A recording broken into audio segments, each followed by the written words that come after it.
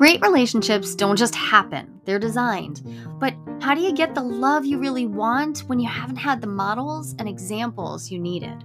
We've learned the hard way that talking about stuff can change everything, but it doesn't come naturally. and That's normal. Welcome to the Project Relationship Podcast. I'm Dr. Joli Hamilton. And I'm Ken Hamilton. Join us as we explore the ups and downs of creating a custom built love.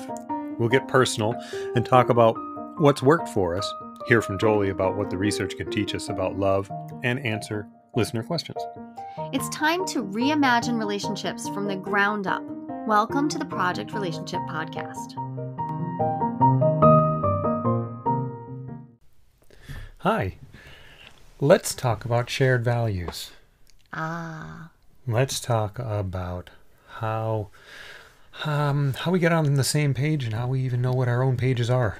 Oh, yeah. I mean, right away you start off good because um, when I ask people to make their relationship agreements, I'm all, I, I generally am, am asking them to get clear on what underlies those agreements too, right? Shared values, your your own your your unique values that are prioritized for you. I mean, the word values has it. It's it's right there. Like etymologically here, we're talking about if it's your val like there are lots and lots of values. If I were to throw a thousand cards covered with value word value related words at you and say, you pick some, you know, you'd have to prioritize.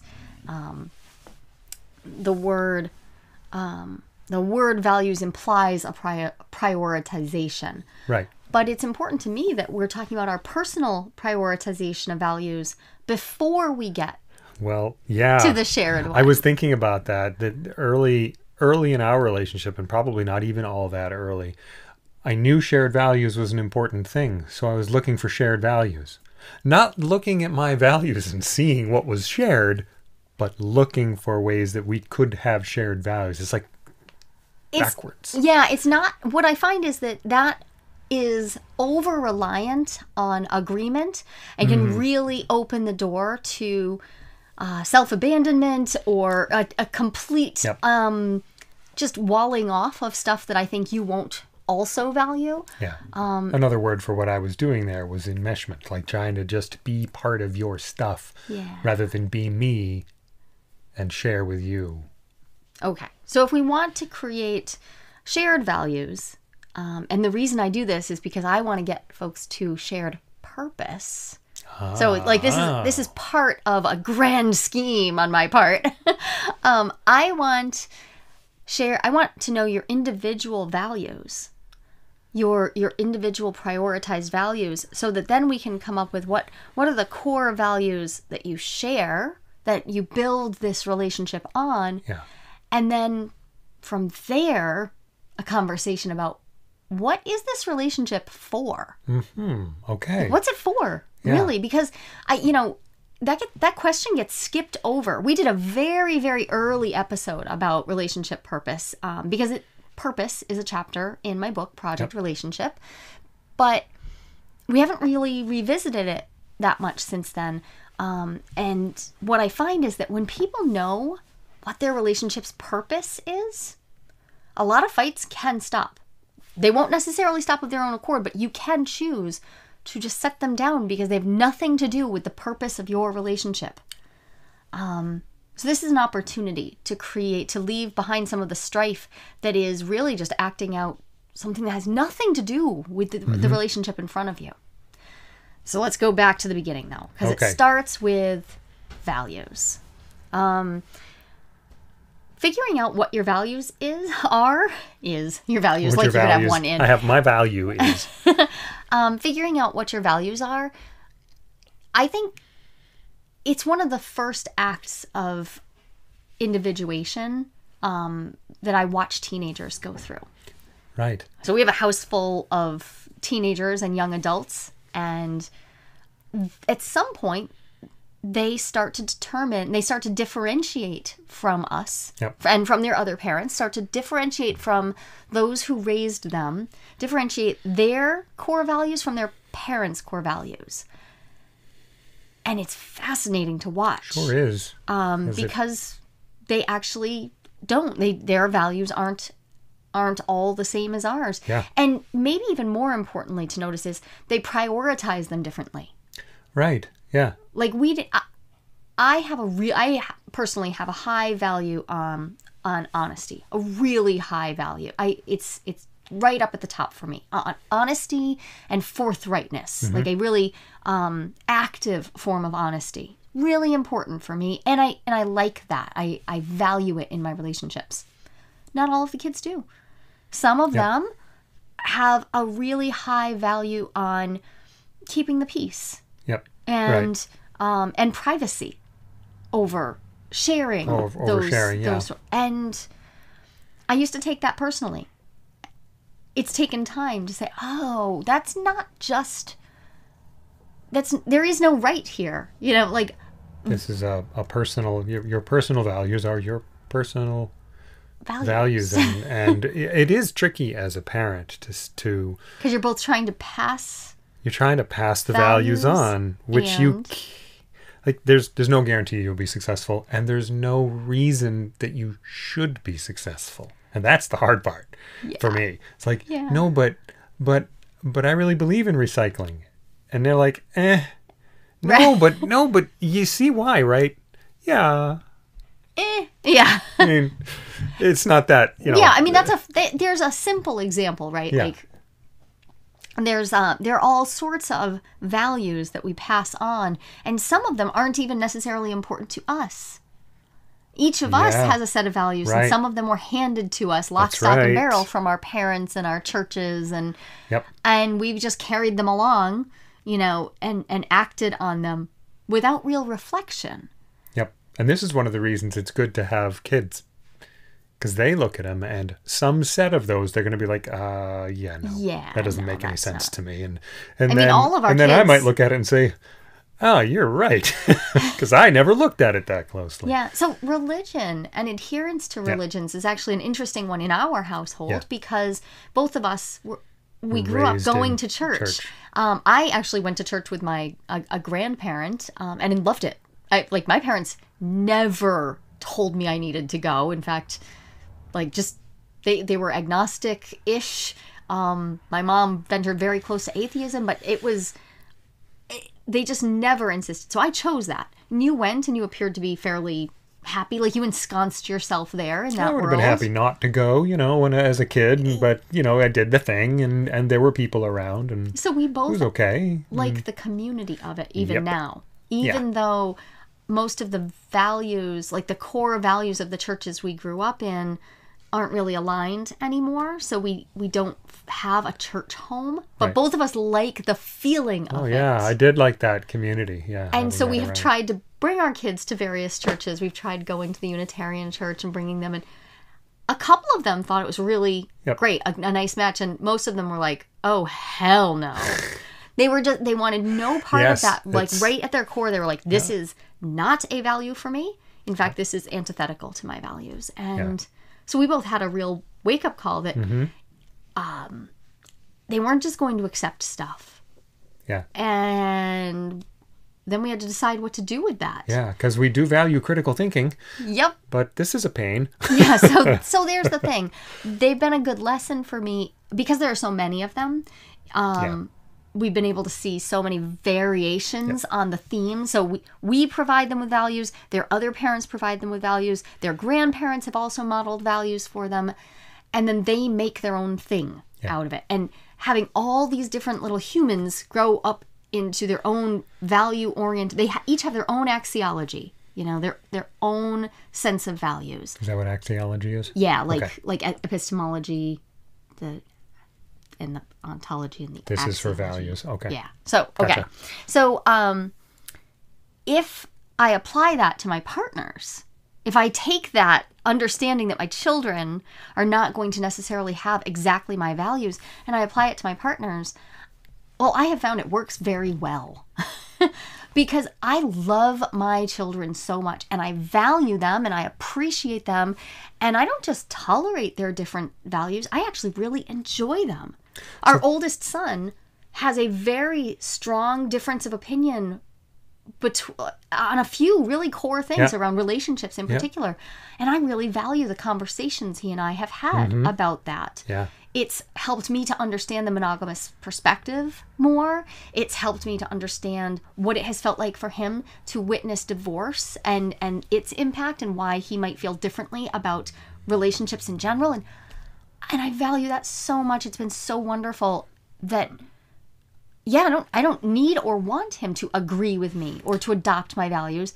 And it's very easy for me to love him not just in spite of being different from me, but because he's different from Right. me. I used the word enmeshment earlier, and and the sort of a, a I don't know what's the opposite, but but an alternative to that is seeing the other that the other person is, the Yeah. the capital O other that I hear you talk about. That's such a great idea. So there's you, your your divine, whole, autonomous, you, Sovereign self. Yep. yep, sovereign self, who is not me, Yeah. and um, And really it is. honoring It's, that. it's exciting and amazing to that that someone other would choose to share what's going on with them with me. I So I is also find to see it the to kids be like that. it's a wonderful place to withdraw blame.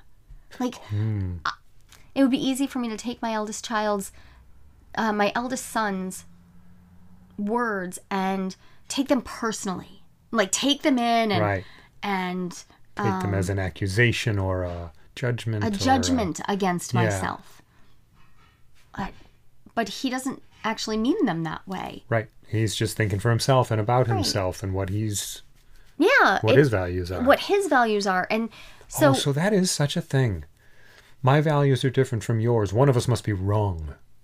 there we That go. that's a thing that comes up all over the place. So I find it really helpful to do values exercises because it's a reminder that all of these different words that we assign to values, they they all have they they all have inherent meaning in themselves and the thing I want is to relate to that sacred other, the other that is you so that I am not alone in this world. Yeah, I right. want to relate to you as other, not as unified Extension with me. of- Mm-hmm. Extension must align in all ways. Yeah.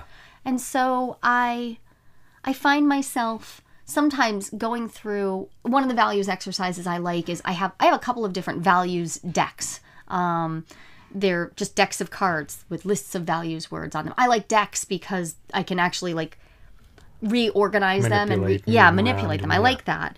Um, so i'll take them out and one of them i actually made myself. They're just a whole bunch of values words i copied off of pieces of paper on the internet and they're just on ind- index cards and i i lay them out. And sometimes i'll create fictional characters. Like what if somebody had and i'll take these 10 values what if they had those as their top values and i'll imagine who they might seem like they were to me It's fun. and and I'm not a fiction writer, so uh, maybe fiction writers everywhere are just going like, well, duh, this is just what we do. I, I don't know. Um, but when I do that, I'm immediately struck by, ooh, I want to know this person. I want to ask them some questions because they're going to look at the world so differently. But then, as a thought experiment, I will ask myself, how would I relate to this person? Okay. And what I do is look for so in this stack of values that that, that are strongly held for them, where could we find some common ground? It's not going to be all of them, but I've yet to deal out a set that I couldn't find some common ground with. And this is what happens in my uh, in my consulting room as well. You know, I meet with people from all over the world who have lived very different lives and have different values. And one of the things I really believe in is that as a coach, I am relating to my clients. We are in relationship, and that matters. Um, I that's that's a foundational principle for how I work. Is that the I thou relationship. Um, so when I find that common ground, now we can build our our communication based on the differences that we have and the similarity. We have a touchstone to come back to, and that's the heart of this getting clear on what my values are before I try to create shared values Yes. with you Right. Yep. lets me start honoring my inner boundaries. We did a great episode with Melissa Height Yes. on inner boundaries. Yep. And if you're looking for inner boundary work, go to Higher Sex Education.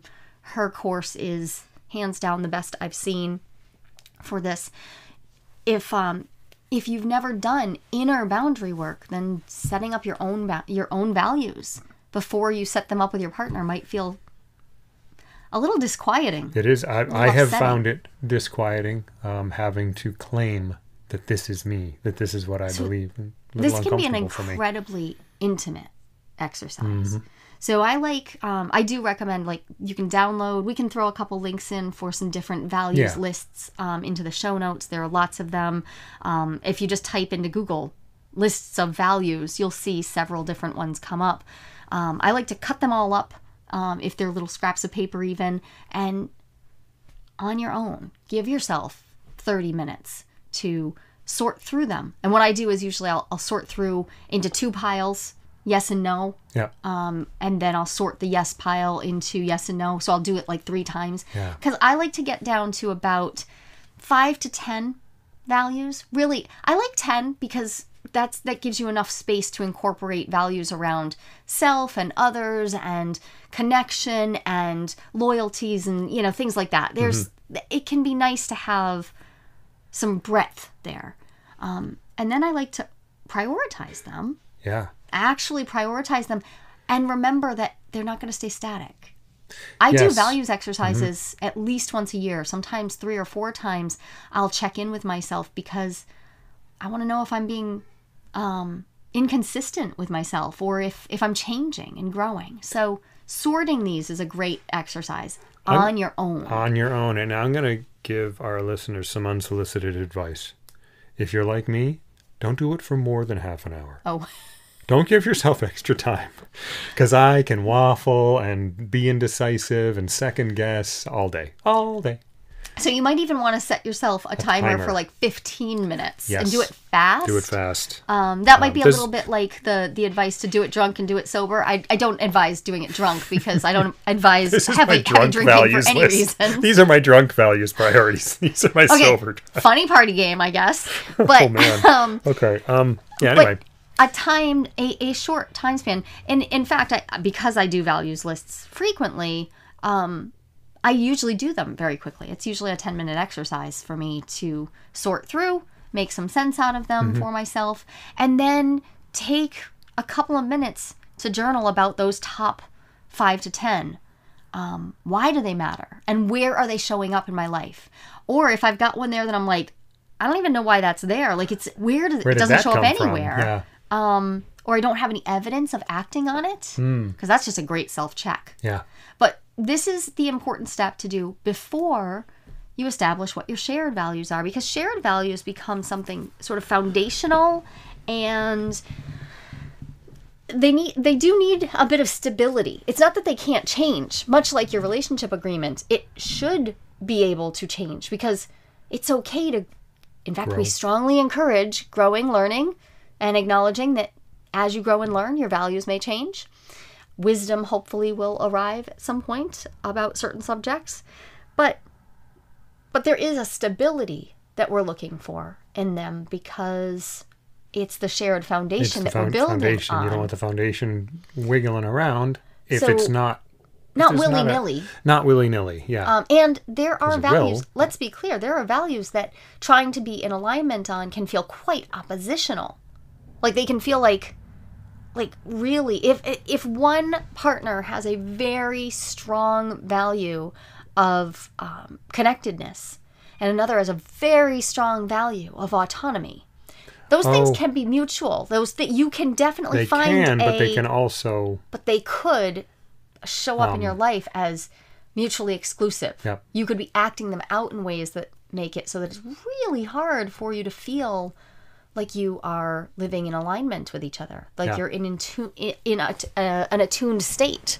Um, so, doing that exercise and getting clear on my values has helped me um, share with you where I'm at right now Yeah. um, what's important to me, and then choosing our shared values. That gives me a touchstone for, okay, in this house, with this partner, doing this stuff, even when I'm uncomfortable, Yeah. we've agreed on some really core values.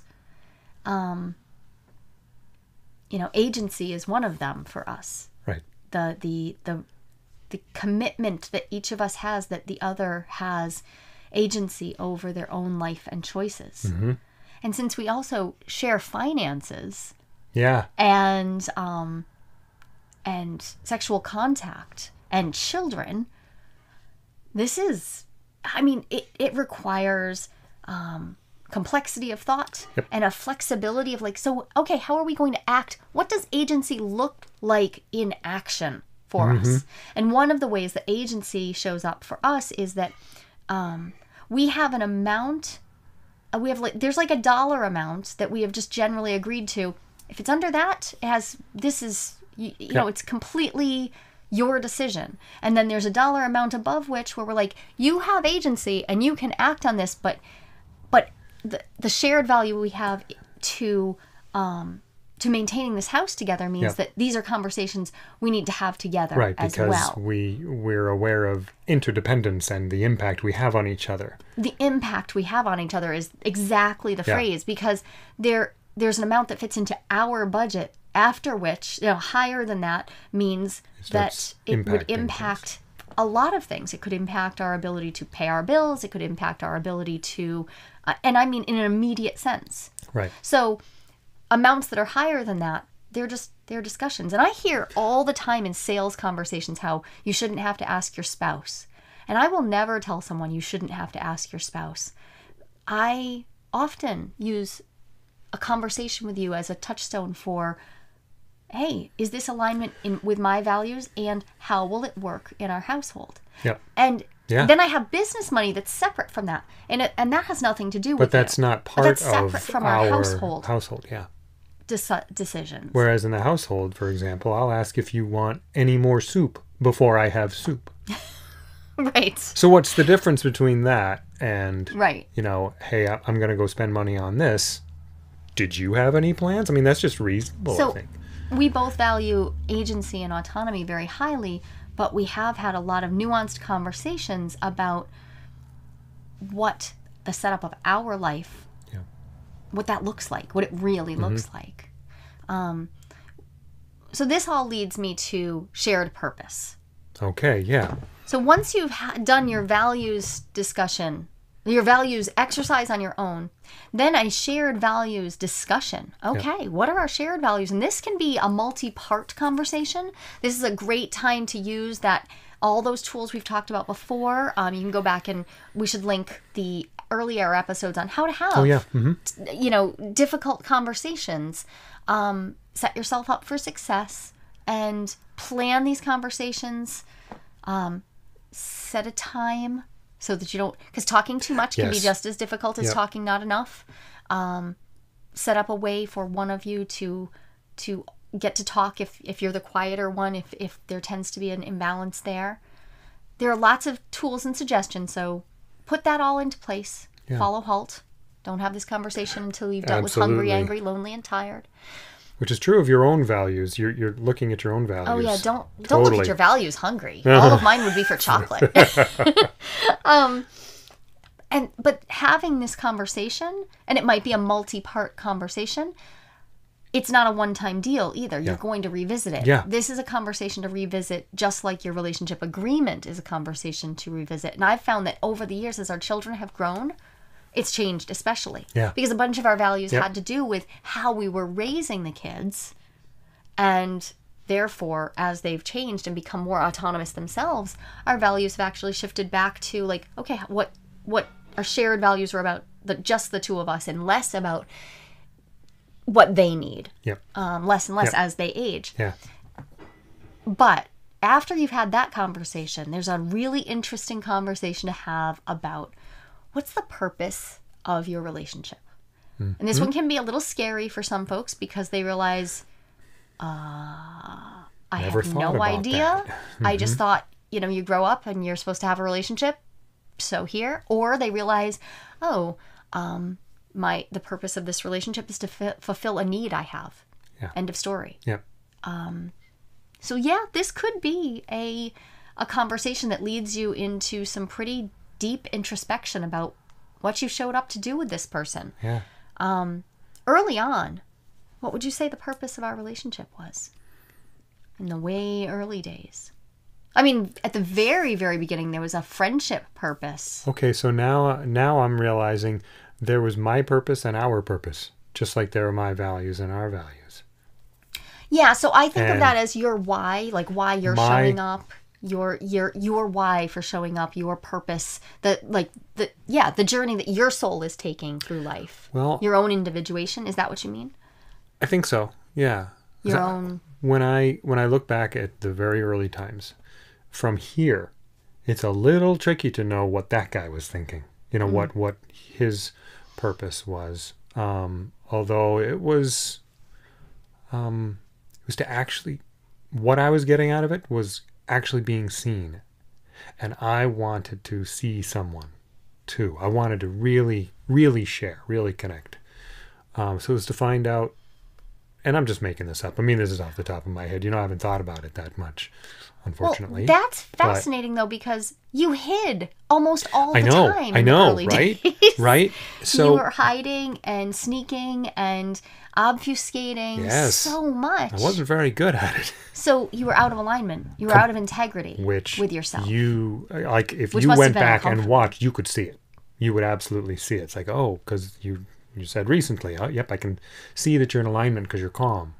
I wasn't calm. I was all over the place because I was out of alignment. yeah, panic played a much bigger role in your life. I would panic over everything. Yeah. There were there was a lot more phone throwing back then. I Oh my haven't seen you throw a phone in years and years and years. No. I Luckily your phone had a really thick phones case. anymore. It's a carpeted floor. Does that help? Anyway, I think that getting in getting in alignment with yourself.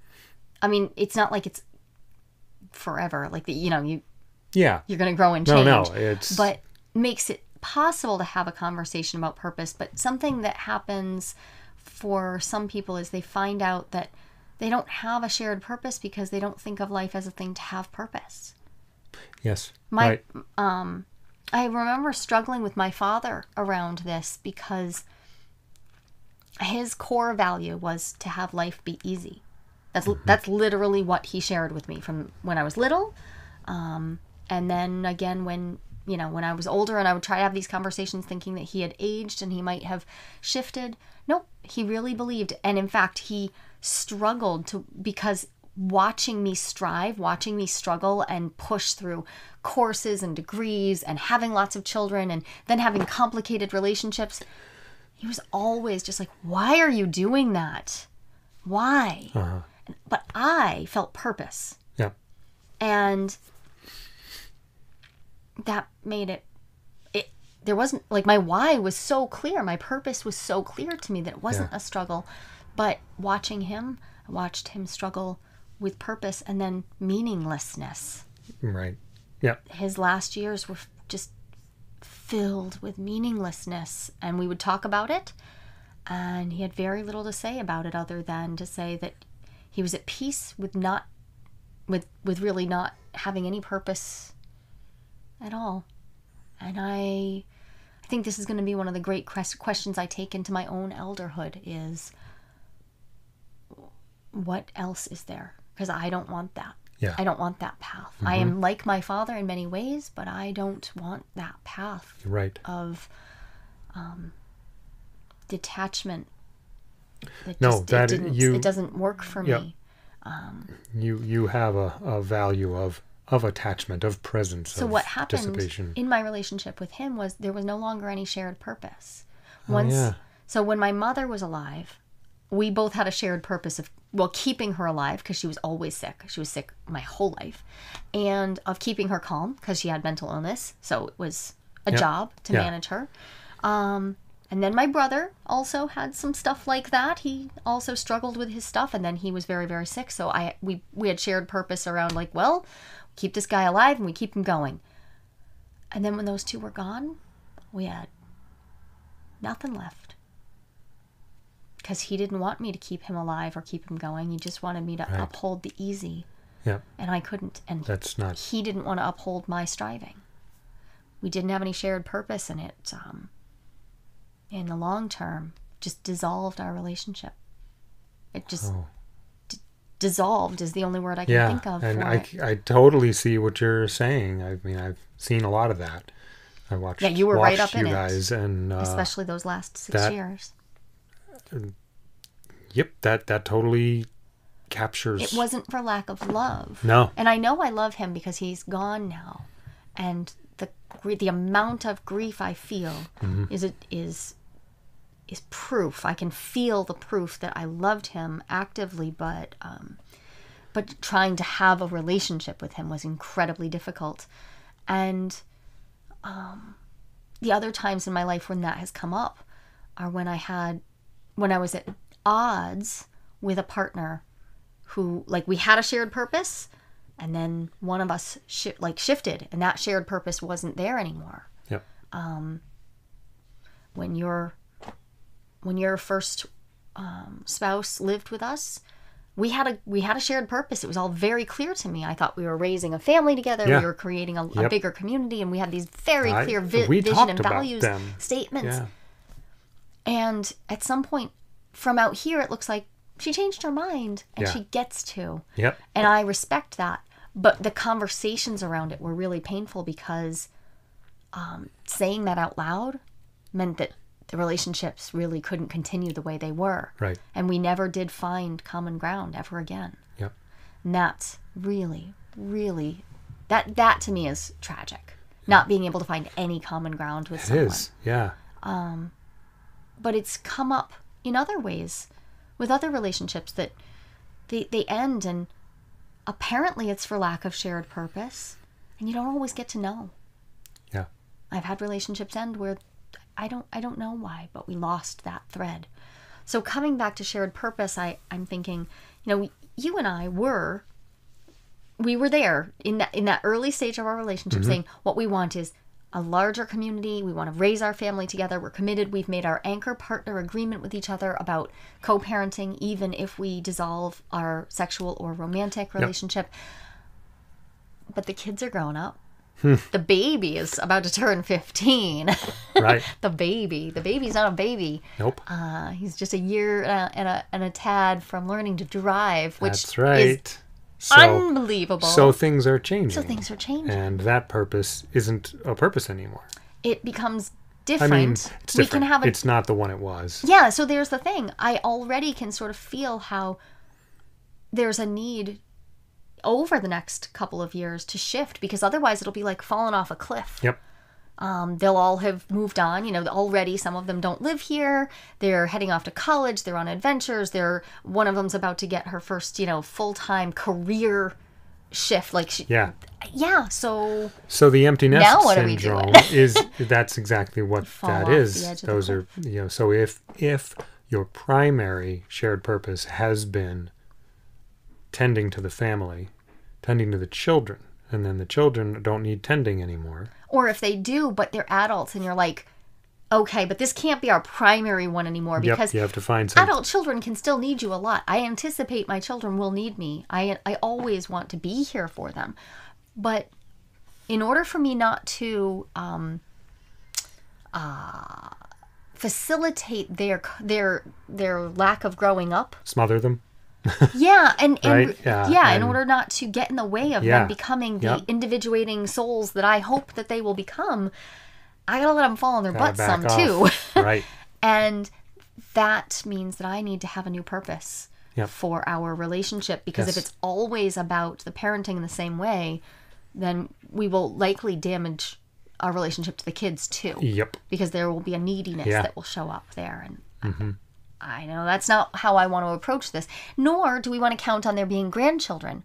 Because Right. none of our kids have made. uh, The youngest is pretty. He's like, yeah, I think I want to have kids. So first off, that's a long ways away because he's the youngest, and second, yeah, they're just you know the world is different. Not everybody's having kids, and Yeah. that's fine. That's more than fine. Um, but so I don't want to plan my But life around the idea yeah. the way my mother did. I remember her planning around being a grandparent, Yep. and um, I don't want to plan that way. So our shared purpose, and we have a value, a core value that helps us orient all the time It does. and that is relational individuation. Yep. That our core value is to prioritizing each other's growth Yeah. over our comfort, Yep. our day to day comfort. That does provide a lot of purpose. It does. And it also requires a day to day reminder that, um, well, it's the opposite of that easy. My dad's been Yes, trying is. to teach me all these Mhm. years. Um, and it can also feel a little amorphous. It, it's not as Yeah. clear. Like the kids are clear. Yep. Take them to soccer, buy them shoes, Right. make sure they know algebra.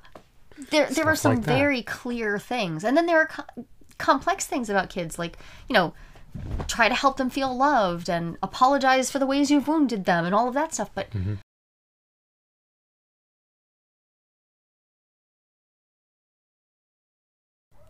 Now that I am clear that they are grown and I'm I I've done that part of the parenting Mhm. with you.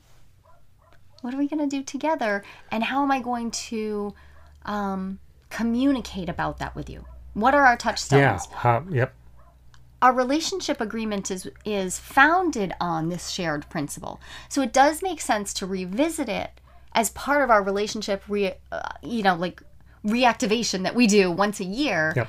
But I also find it to be a really helpful um, thing to talk about with you. I enter into a sort of um, hibernation phase at this time of year um, where things feel a little tight and a little cold and cramped. And I find um, having this conversation about purpose fits really well into that like January to March time um, because I'm I'm feeling a sort of this sort of dark, enclosed space that that encourages a certain level of healthy rumination. Yep. so, so in this time of in in inward contained, Yeah, um, especially because I point so much energy outside. yeah, Um, I think that for me, I, this comes up naturally. I don't think it's a surprise that it's coming up to me right now. We're recording this um, in January, yeah, and I don't a think cold it's a day. surprise. Yeah, Yep. it's like three degrees outside. I appreciate that you continue to revisit this with me, and I appreciate that as we've revisited it, and it has, and our and our purpose has changed because the purpose wasn't just the kids. Our No. purpose has been growth over comfort growth over comfort. um, for the last 10 years at least um, of our 12 year relationship. Um, I appreciate that you will come back and refine and also um, add things because the, the, the, the purpose is actually more nuanced than that. There's more Sure. to it. We could go into more depth, um, and some of that's very private, um, even for even for me. um, and that that way that you explore with me what our purpose could be So I do. I like to imagine and dream about what could be. I- so I find the the idea that in fact my purpose could be almost anything mhm, incredibly liberating. good. Not constrained by what society has set forth as what I should do, Yeah. um, and instead my purpose could be almost anything. So, okay. This fascinating conversation. There's so much more we can say about There- values. there. Look for the links in the show notes of this one. I think it'll be particularly helpful. And um, until and it's such a it's such a conversation the values and it's it's a constant conversation or could be if you wanted it to be so keep talking to each other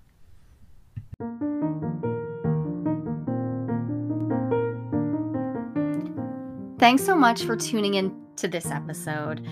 I've got one more thing I'd like to share with you, and that you're just going to need to hop over to the website listentojoli.com. There you can grab my top five relationship guides for free right now.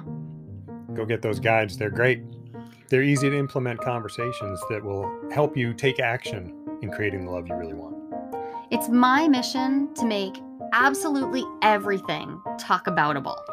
She managed to help me be able to talk about stuff that i once couldn't even imagine saying out loud now i speak openly with my, my lovers my friends my family and you um, on a podcast out loud relationship work really can change everything That really is a wonder. One of my favorite things in the whole world. So, when you're feeling the rough edges, when things aren't going the way that you'd hoped in your relationships, I want you to remember that relationships can be messy, and that's good news.